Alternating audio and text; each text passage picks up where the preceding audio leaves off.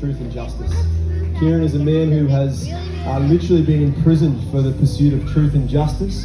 He's a man who's testified to the good news of Jesus Christ on national TV. I watched the 2016 Andrew Denton series last night that he was in, involved in, and Ciaron, you are such a great symbol of, of Jesus in the world today. Uh, a passionate Catholic, so passionate that you're prepared to go to extraordinary measures for uh, in, the, in the name of, of peace, in the pursuit of uh, of the many uh, injustices that this world faces that you've been brought up in for all of your life. Thank you for dedicating your life to, to Jesus and your life to truth and justice. And can we just show appreciation for our brother Felton?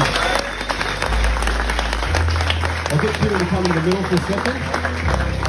Yeah, yeah. Actually, before, before we do pray, Ciaron will just share a little bit about um, uh, yeah, thank, thank you uh, for your solidarity and hospitality. I was around Emmanuel when, in the 70s when I was 16 or 17, and um, I'm proudly 62, and um, that was quite some time ago. And it's just great to come back to worship in such a context where the space has been uh, sanctified by the service and solidarity with the poor on a daily basis.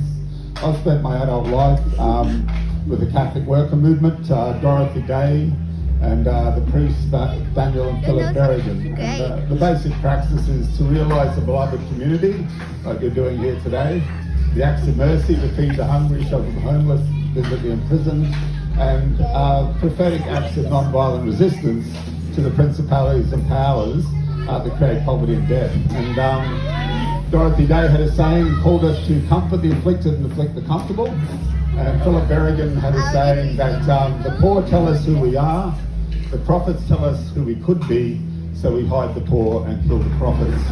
And one, one of our present day prophets is uh, my personal friend and fellow Queenslander, uh, Julian Assange, who's in prison in England, and he's only in prison for exposing the high crimes of empire.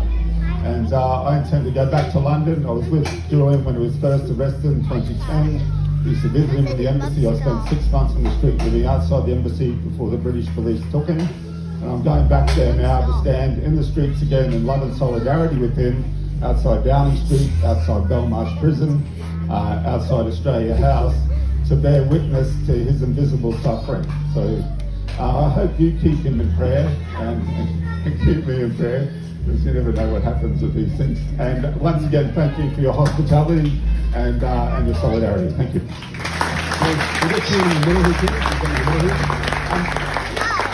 Just a few people will come forward and we'll just lay hands on Ciaron, our brother, as we do in the, our tradition.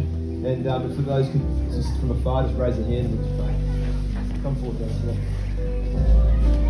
Thank you, Jesus. We thank you for our dear brother. We thank you for the, the conviction on his life, the, the relationship that you've called him into, the, the powerful passion he has for good news in the world, and the extraordinary extents that he's prepared to go to in the pursuit of truth, the pursuit of justice, the pursuit of making known good news struggle with Jesus. Come, Holy Spirit, this day. Come and send him forth. Come and commission and guide his every step, Lord Jesus. Come and lead him and his, his community, people, those whom he represents, Jesus. Yeah. Peace and solidarity. Thank you.